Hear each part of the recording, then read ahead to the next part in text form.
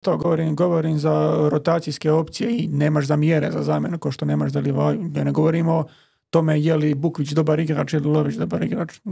To, toga se ne dotiče, nego nemaš nekakvu dubinu. Ne, želim ti reći, ako, ako Osijeku ispadne Lovrić, Osijek se ima na nekog drugog osloniti.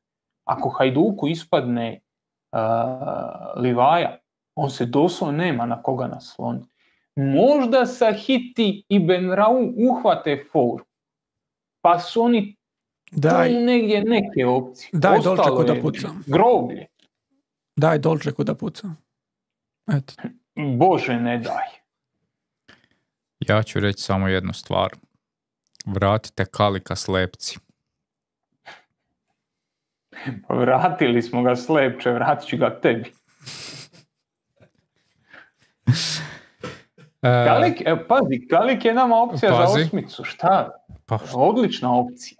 E, viš, izvoli, možeš nastaviti. Sad mi se već sviđaš. Odlična opcija za trećeg veznog, četvrtog, petog, aj neki sedmi, nije bitno. Sad se već zakapaš. uh,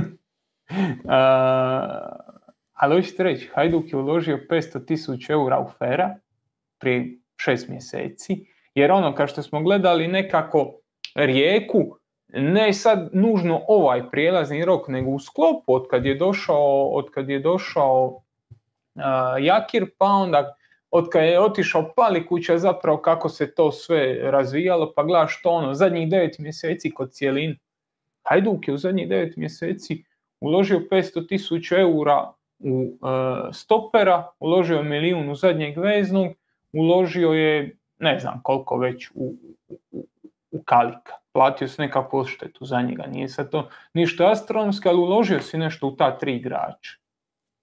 S druge strane, na ljevom krilu ti igra Dolček, koji nije ni, odnosno, di Dolček igra, neki je na desno, ne, neki igra, pizdi svoje matere, sve jedno.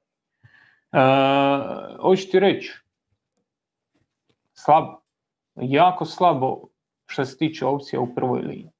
Uložio si nekakve novce u zadnji, u tih osnovu, u tu, u tu obranu i to dobro izgleda i to tu imaš opcije, a, ali ne znači to baš puno ako nemaš neko ako će skinuti malo tereta sa, sa Livaje. I nije lako skinuti teret s Livaje.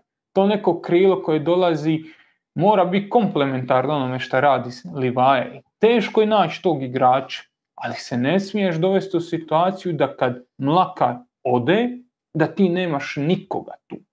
I da Trajkovskog dovodiš na osmo kolo